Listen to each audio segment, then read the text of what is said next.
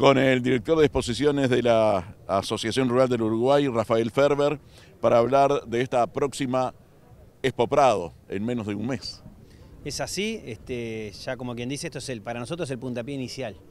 Este, después del lanzamiento ya eh, realmente son días muy intensos, ya vemos acá en el, predio mucha, mucha empresa trabajando, este, mucho movimiento y bueno, está todo vendido, muy bien muchas empresas presentes, muy bien vendido en el sentido de que realmente vamos a estar apretados porque este, se, hemos tenido una gran demanda por estar presentes. Mucha concentración de actividades, se da cuenta de que son dos días menos que lo que estábamos acostumbrados.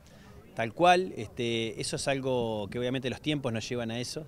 Estuvimos en Palermo con el presidente de la Sociedad Argentina y nos decía lo mismo, antes esto duraba 20 días y, hoy duran 10 y hacemos las mismas cosas. Claramente tenemos un problema este, de síntesis. Y, sí, bueno, y, de físico nuestro, porque te muele las exposiciones, porque, porque hay muchas actividades, es imposible estar en todas presentes, pero obviamente hay que hacer el esfuerzo.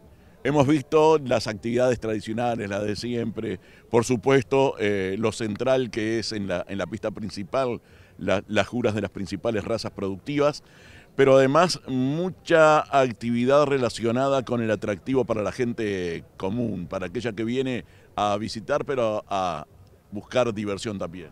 Sí, es una exposición agropecuaria, este, pero para todo público, con muchas actividades, mucha presencia de, distintos tipos de, productos.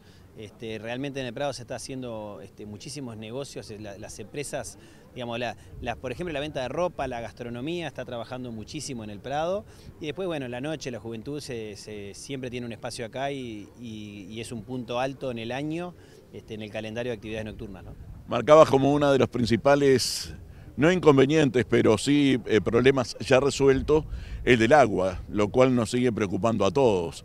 Eh, una perforación realizada por la Asociación Rural del Uruguay en este mismo predio, aprovechando eh, la, generación de, agua subterránea. ¿no? Sí, este, esa es la parte fácil.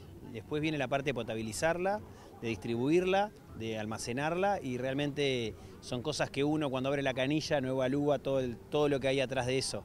Este, por suerte estamos en condiciones de llevarlo adelante, obviamente tiene un costo para nosotros, pero, pero tenemos claro que no podemos competir con el agua de la ciudad. Al día de hoy, obviamente no está resuelta la emergencia hídrica y no sabemos cómo estaremos a esa altura, este, por lo cual tomamos las medidas necesarias para dar tranquilidad a los expositores, a las empresas y a la población. Pese a la sequía que ha afectado al sector ganadero, de cualquier modo la presencia de ejemplares de todas las razas y todos eh, los géneros eh, van a estar presentes, de cualquier modo, con algunos ejemplares menos. La verdad que para lo que es el año, lo que ha sido el año climático y comercial de la agropecuaria, un año muy difícil, este, la situación climática no, se le puede poner más adjetivos, la parte comercial está muy difícil, le sumamos al tipo de cambio, realmente las cosas, eh, hoy está el viento de la puerta, pero hay un, hay un negocio ganadero atrás, hay un negocio genético, comercial muy fuerte atrás que hace que las empresas deban estar presentes este, y así lo vemos. De todas maneras hay que hacer este, estar muy agradecidos con ellos por el esfuerzo que hacen para, para, llegar a la muestra de la mejor manera. Mayor presencia de maquinaria en torno al ruedo se siguen, este, a pesar del poco espacio que tenemos para la, demanda, este, corremos la parte cervecera, se va de donde estaba este, en el entorno de la maquinaria, se va a ir hacia donde estaban los lecheros el año pasado, gracias a que recuperamos el Galpón 1, por lo cual vamos a tener algún cambio ahí. Eh, a propósito, recuperado con una carpa adentro para que estén allí los ejemplares eh, lecheros. Es así, lecheros y, carniceros, pues, porque tenemos un espacio eh, bastante más grande que lo que es la carpa que hacíamos, te diría que el doble casi. Este, sí, es el primer paso para nosotros, el primordial. Obviamente la obra se va a terminar después de la muestra, este, es una obra grande que lleva este, obviamente el tiempo que llevan estas cosas.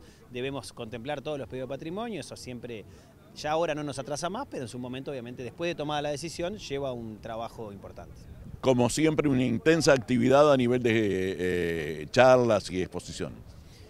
Y totalmente lleno, de hecho vamos a agregar en la manguera este, de caballo, vamos a tener charlas ahí también, porque es el mismo efecto de los días de la muestra, se achican los días, se, juntan actividades y realmente no nos dan los espacios.